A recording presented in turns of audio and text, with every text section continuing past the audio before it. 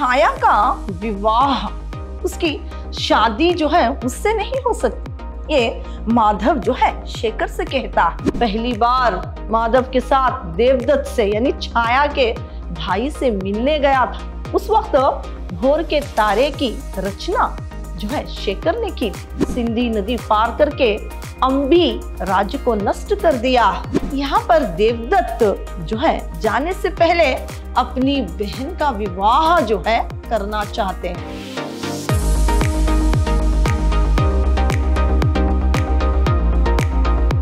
प्रणाम, मैं Rihanna S अति उत्तम विद्याश्रम की हिंदी प्रवक्ता। मेरे फोर्थ सेमेस्टर के बीसीए के जितने भी विद्यार्थी हैं, आप सबका मेरी कक्षा में स्वागत है मेरे प्रिय विद्यार्थियों।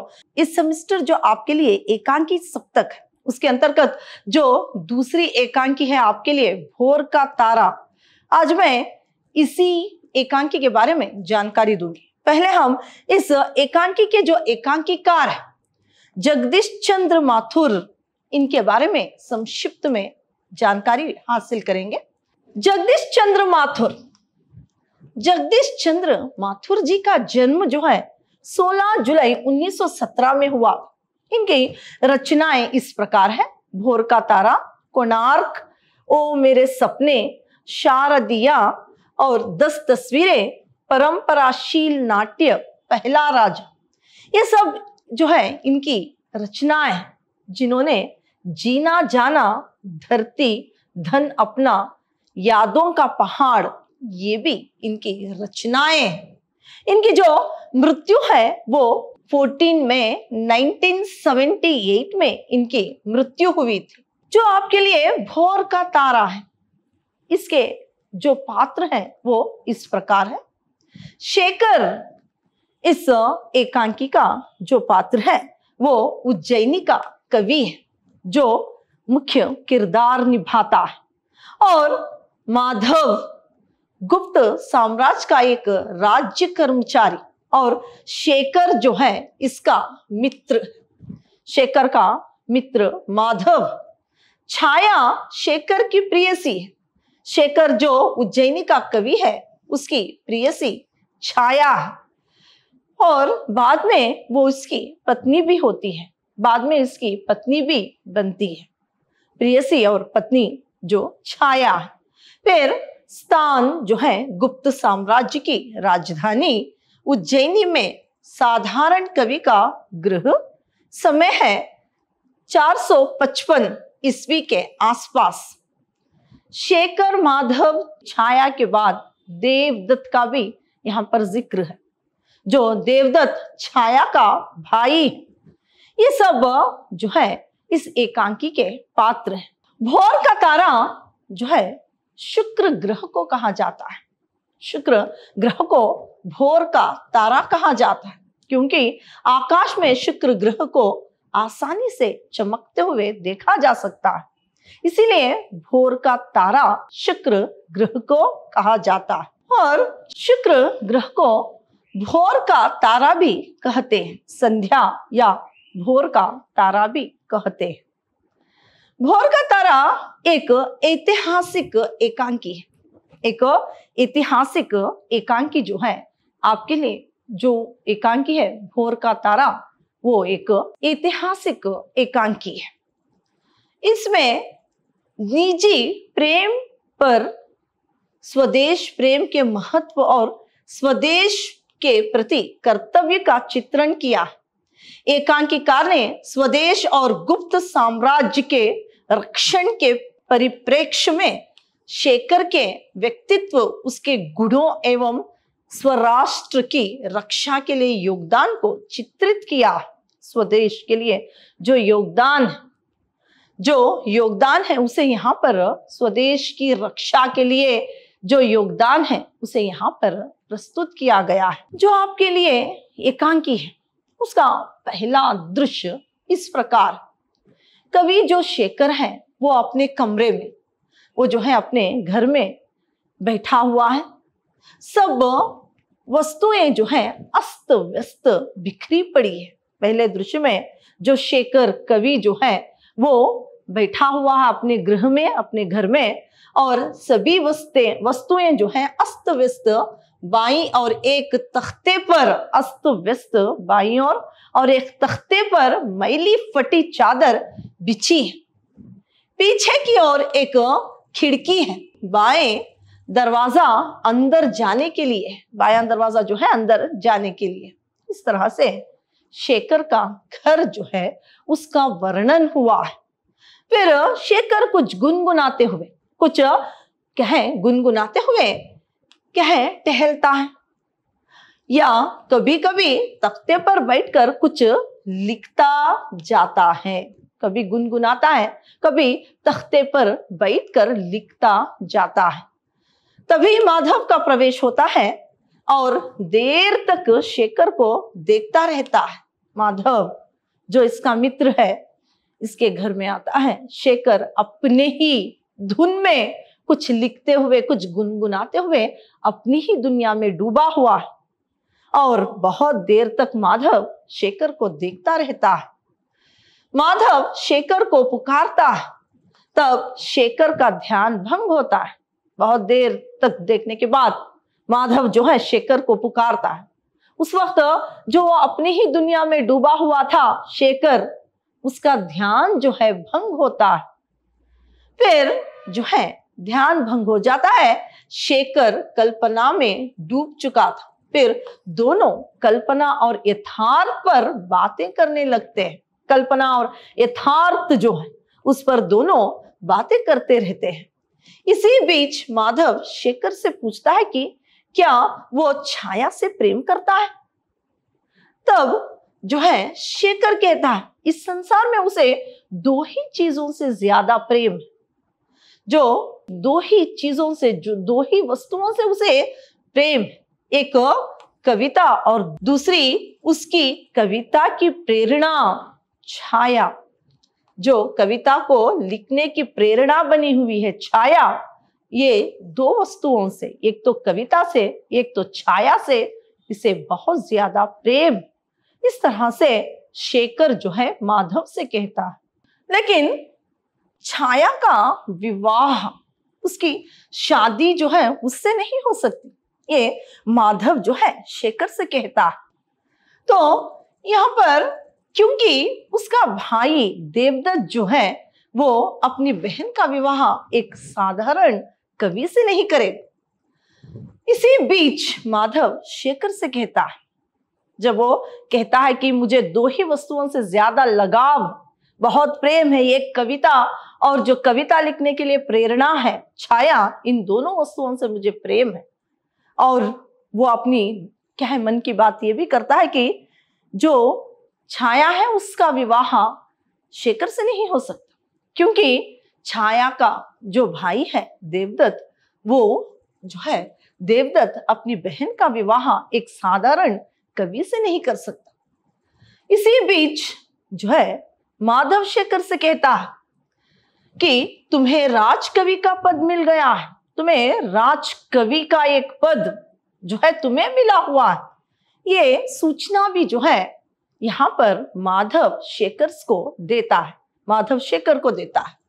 और कहता है कि उत्सव में छाया ने शेखर का लिखा हुआ गीत गाया था, जिसे सुनकर सम्राट ने गीतकार का नाम पूछा और उसे वह गीत बहुत पसंद आया तो उस गीत को लिखने वाले को राजकवि का पद दे दिया।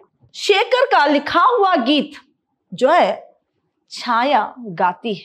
और सम्राट को वो गीत बहुत पसंद आ जाता है। और उस गीतकार का नाम जब पूछते हैं तो छाया उसका नाम बताती है, उस वक्त क्या है? उस वक्त राज कवि का पद जो है, सम्राट दे देते हैं। राजाधिराज, राजाधि राज जो है सम्राट स्कंद गुप्त विक्रमादित्य के दरबार में ही जो है, कल से तुम्हें रहना पड़ेगा। उनके महल में।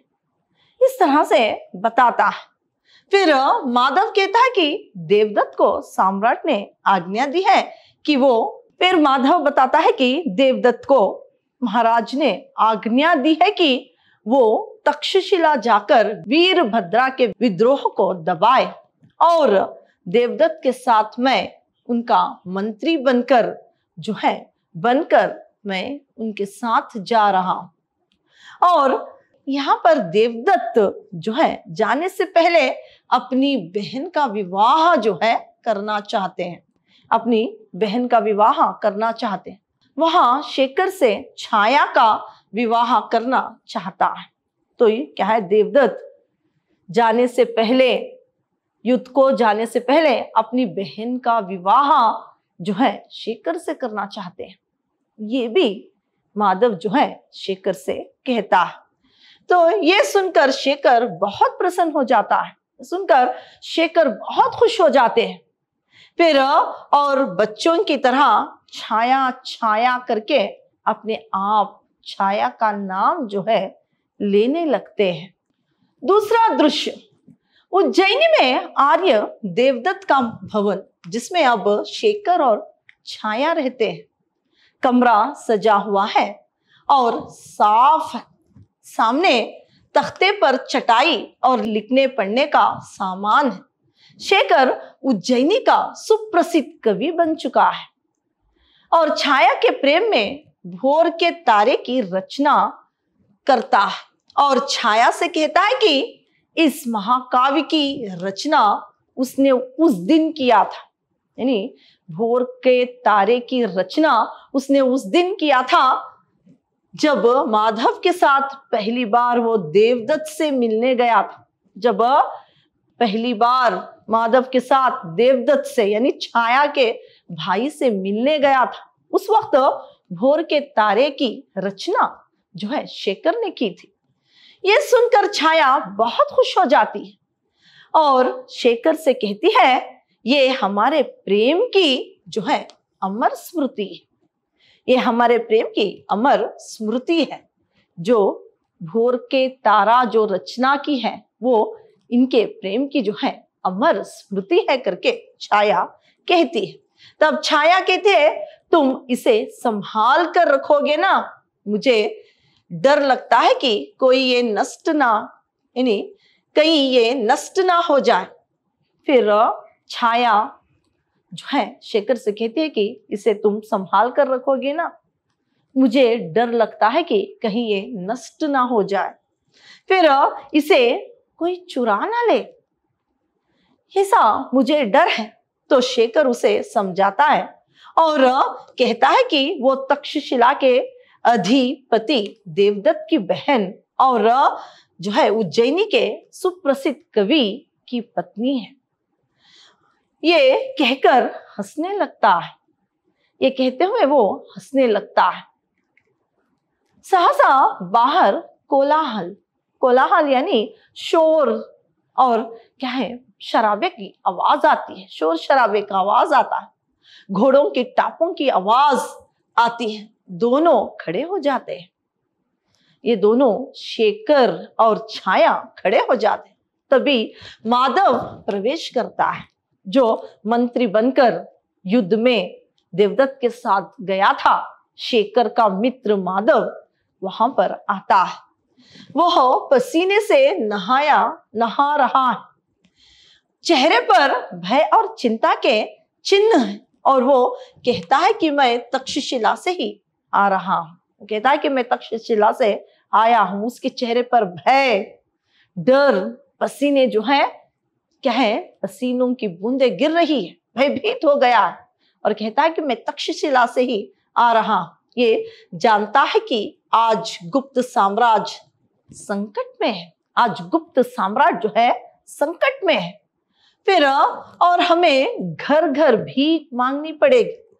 घर घर जाकर भीख मांगनी पड़ेगी। और कहता है कि शेखर पश्चिमोत्तर सीमा पर आग लग चुकी है। हूणों का सरदार तोरमन भारतवर्ष पर चढ़ आया है। जो है तोड़मन जो है, यहाँ पर युद्ध के लिए चढ़ाई कर दी है। ये इत्तिला जो है, वो देता है। फिर उसने सिंधी नदी को पार कर, उसने सिंध नदी को पार कर लिया है।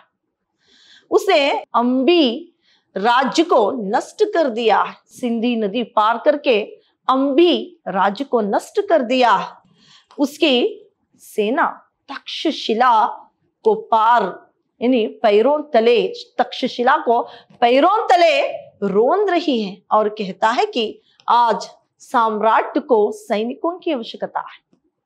आज सम्राट को जो है, सैनिकों की सैनिकों की जो है आवश्यकता फिर यहाँ पर शेखर, आवश्यकता है शेखर।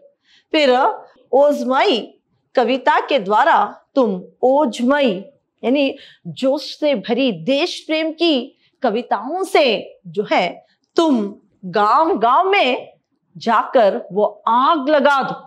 तुम कहे, जो देश प्रेम की जो कहे, गीत है, उससे गा गा कर ऐसी आग लगा दो कि देश की रक्षा के लिए शस्त्र जो है हाथ में ले ले। तब यहाँ पर जो है देश की जनता, देश की रक्षा के लिए तुम्हारे जो इन्हीं, जो देश प्रेम की गीत तुम गाओगे, उससे जो है प्रभावित होकर देश की जनता जो है शस्त्र अपने हाथों में ले। ऐसे गीत जो है तुम्हें गाना पड़ेगा घर घर जाकर हमें ये करना पड़ेगा करके यहाँ पर माधव शेखर से कहता हाथ में ले लो यानी शस्त्र हाथ में ले ले। तब छाया अपने भाई के बारे में पूछती है। तब माधव कहता है, मेरे प्राण क्या चीज़ है? इसमें तो सहस्त्रों मिट गए और सहस्त्रों को मिटना है। मेरे प्राण क्या चीज़ है? इसमें सहस्त्र मिट गए सहस्त्रों को मिटना है। मिटना है इस तरह जो है ये कहकर अंतिम सांस जो है देवदत्त ने ली। इसके भाई के बारे में जब छाया पूछती है तो जो देवदत्त ने अंतिम बार जो कहा था, उसको यहाँ पर वो कहता, ये सुनकर छाया रो पड़ती है, पृथ्वी पर क्या है, घुटनों से गिर जाती है।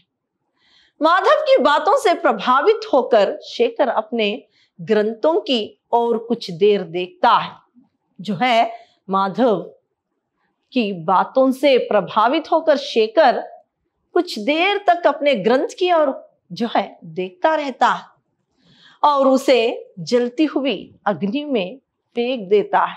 जो भोर का तारा, भोर के, भोर का तारा जो लिखा था, उसे अग्नि में जो है भस्म कर देता है और कह फाड़ कर डाल देता है। फाड़ कर अग्नि में जो है डाल देता है और छाय की ओर देखकर बाहर चला जाता है। शेखर जो है छाय की ओर एक क्षण देखते हुए बाहर चला जाता है। पर छाया पीड़ित स्वर में माधव से कहती है, तुमने तो मेरा प्रभात नष्ट कर दिया। तुमने तो मेरा प्रभात नष्ट कर दिया। इस तरह से छाया जो है शेखर को कहती है। तब जाता हुआ माधव कहता है, छाया मैंने तुम्हारा प्रभात नष्ट नहीं किया है। प्रभात तो अब होगा। शेखर तो अब तक भोर का तारा था। अब वो प्रभात का तारा होगा। पहले शेखर जो है सिर्फ़ भोर का तारा था। अब जो है वो प्रभात का तारा होगा। खिड़की को खोलता है, जिससे कोलाहल स्पष्ट सुनाई देता है। खिड़की जब माधव खोलता है तो वहाँ से शोर जो है स्पष्ट रूप से सुनाई देता है और शेखर और उसके साथ पूरे जन समूह के गाने का स्वर सुनाई उसे देने लगता है। यानी शेखर अपने देश प्रेमी के गीतों से, जो अपनी गीतों से जोशीले यानी देश प्रेम से भरे हुए गीतों से पूरे जन को, जो देश की जनता है, उसे शस्त्र लेने के लिए जो है, व्याकुल कर देता है अपने गीतों से। तो इस तरह से जो है आपके एकांकी है भोर का तारा। ये एकांकी उस आवश्यकता यानी जब देश पर संकट आती है, तब युवकों की भूमिका पहचान कर कवि के माध्यम से युवकों में प्रेम परायण के स्थान पर शौर्य भाव तथा त्याग की भावना भरने की जो है बात करते हैं। कवि जो है, जब देश पर संकट आता है तो नव युवक जो है अपने प्रेम को छोड़कर जो है, देश प्रेम में, देश प्रेम की भावना जगाने का एक प्रयास जो है शेखर के माध्यम से इस एकांकी में किया। फिर शेखर भोर के तारे को अग्नि में डाल देता है। तो यहाँ पर प्रेम परायण भावना को त्यागने का प्रतीक और तभी उसके स्वर से वीर वीर रस का हुंकार फूटता है। तभी जो है वीर रस का हुंकार उसके स्वर में फूटता है। तो भोर का तारा आपकी जो एकांकी थी, इतनी ही थी। अगली कक्षा में किसी और एकांकी के बारे में जानकारी प्राप्त करेंगे। धन्यवाद।